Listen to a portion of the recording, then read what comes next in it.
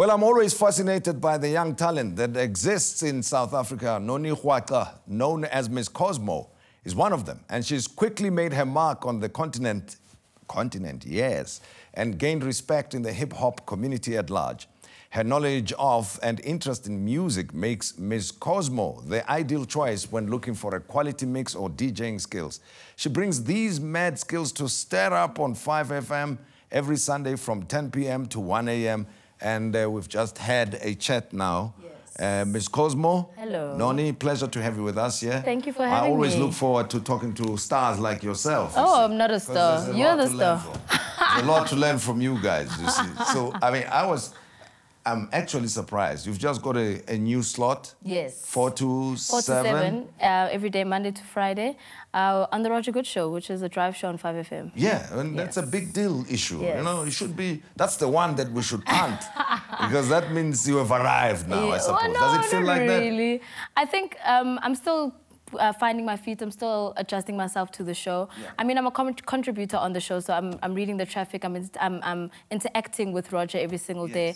I'm adding some value to the show. Sure. I still have my Sunday show as well, which obviously is then the hip hop factor And, that- of, of and that's everything. where you really Yes. showcase your talent, Yes, right? definitely. Now, what I'll, I find interesting is that you've studied investment. Yes, I studied finance and investments, yes, uh, at UJ. Uh-huh. I graduated in 2009 and I even worked at a bank for four years. Oh, really? Yes, I was a commercial property finance consultant. Okay, all right, let's forget about hip hop and talk serious stuff. Oh, okay. Do you want money? I can't help you anymore.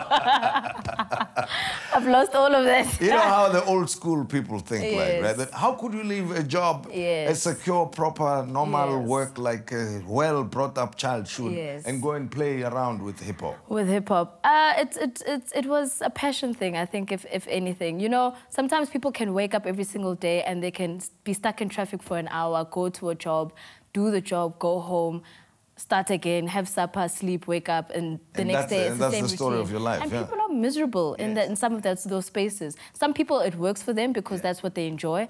I enjoyed finance. I won't, I, won't, I won't take that experience away from it. It's just I wanted something more. So my passion has always been in music. Even when I was a child, Yes. my mom and my dad can attest to the fact that I was always dancing in front of the TV. I was always performing in front of people. Uh-huh. Yes. So for me, I didn't know what I wanted to do in music, but I knew I wanted to do something in entertainment. So I only found my my appeal in music, I guess, a little bit later. So my leaving the bank was just a, a case of wanting more for myself and wanting to feel fulfilled every day I woke up. And would you say that it's been a fulfilling experience since that you do not regret anything? No, I don't regret anything at all. I mean, if anything, what I learned while working in the bank and obviously having my degree is how to treat myself as a business. Yes. So I take myself um, a lot more seriously. Um, I know how to negotiate for me to get better deals when I'm actually out there to, to actually DJ. I mean, I've registered a company. I'm doing a lot more stuff with my brand. So if anything, that's what it did t- teach me. But so I'm able to at least take those skills and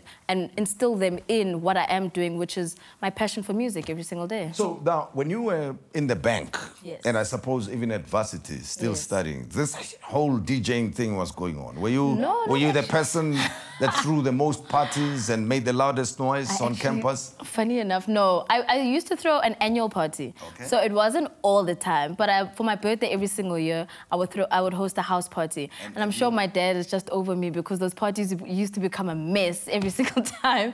Um, but yeah, I used to host um, my annual birthday party and I used to make mixtapes as well. Uh-huh. So, because you know, sometimes you buy a CD and you only like maybe say four or five Yeah, songs from the CD. So I'd make like compilations with different types of music, and I'd take those CDs with me to a braai, uh, braai party, whatever the occasion may be. And my friends just loved my music and my selection each time. So that's when a friend of mine suggested, "Hey, maybe you should actually get into this DJing thing." I took my time with it a bit, but I started taking the lessons when I actually started at the bank, because then I had money to afford to pay for it Okay. and to take the lessons. You know, it's one of those things that you wouldn't think that can be taught. Yes. But you took lessons in it. Yes, yes. So- well, I had a lot of DJ friends, that's the thing. So Yes. at the time, I was like, oh man, I can ask some of my friends, they can help me with this. None of them had time for me. Yes. so I had to investigate a little bit, and then I found a school that was teaching young girls how to DJ. And that's when I then took the plunge, booked some lessons, and here I am today. So I mean, tell me about your industry then, yes. from a banker point of view. Ooh, all right, okay. Wow. Before we talk about the money, the actual, because obviously, as we are talking now, I can mm. imagine the dreams of so many young people, not yes. only in the line of uh, work that you are in now, the career yeah. you've chosen, but somebody's always waiting for someone to ignite something, to light the spark in their yes. life. So this is what you do. Don't mm -hmm. think there's anything abnormal yes. with you when you feel like being a DJ and yeah. being a young girl. There's absolutely nothing wrong with going after your dreams. I think if you know what you want and if you figure that out, then it's that much easier for you to actually go for it and for, for you to actually put in the work to get there.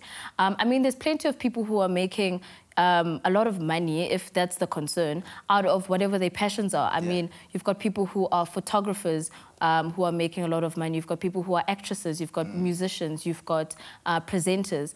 And it's just a case of you understanding yourself. Presenters and how... make money. Yes, they do make money.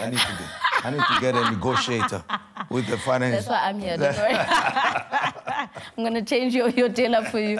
But I mean, people like that can actually make a career out of it. And it's, it's just a case of you understanding where you can fit your brand in and how you can sell that to make more money. So the whole DJing thing has brought you to where you are and uh, you're having a fantastic time on radio. I'm having an amazing time. I love radio. I love communicating. I love people. And because I love understanding people and working with people, it makes it that much more easier. Because I can sit and listen to a hip hop song, I can break it down and say, this is what this artist was going through. This is how the song came sure. together, A, B, C, D. So little things like that, I pay a lot of attention to. So it just makes it easier for me to actually express myself as well. Tell me about the Miss Cosmo story. Yes. And then tell me where Miss Cosmo is headed. Um, well, I did mention to you, I mean, my Miss Cosmo story basically started after I had taken the lessons. The, name. Oh, the name. The name. well, now I'm explaining other things. you don't want to. I can, I can. No, man, well, basically, at the time when I did start DJing, I mean, I was still at the bank, like I mentioned. So yeah. I wanted to have an alias yes. because I didn't really want to be DJ Noni. Yes. It was a little, number one, it was boring. Yeah. Number two, I didn't want the two personas to clash. Yes. So I had to come up with maybe say a DJ name for that sake. Um, and then I was just toying around with a couple of names with a friend of mine. And then we went for a couple of cocktails, one cosmopolitan, two cosmopolitan oh. later. and then you were... And then, woo! It was like, here's cosmopolitan. The name. But then it made sense for me at the end of the day because I thought about it. I was like, okay, I could be Ms. Cosmo because, I mean, I'm a cosmopolitan girl. Sure. I live, a, I live in a cosmopolitan the, city. Where's the career going now? Um, geez, definitely into bigger, broader um, spaces. Obviously, the radio show I've just started now, so I'm working on um, getting better at radio, um, radio presenting. Um, I definitely want to get into um, TV at some space, but right now I'm working on music. So I have actually this morning I was I was um, in the studio working on on my single. So hopefully that will be out in the next couple of months.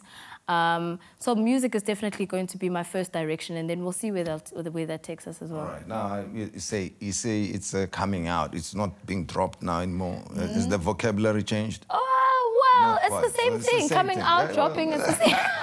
it's just Vanek, I guess. I don't know.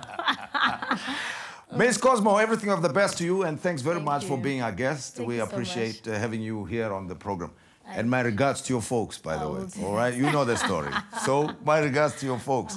Thank you very much. This is how we come to the end of uh, the show, and we hope you enjoyed it. And join us again next time.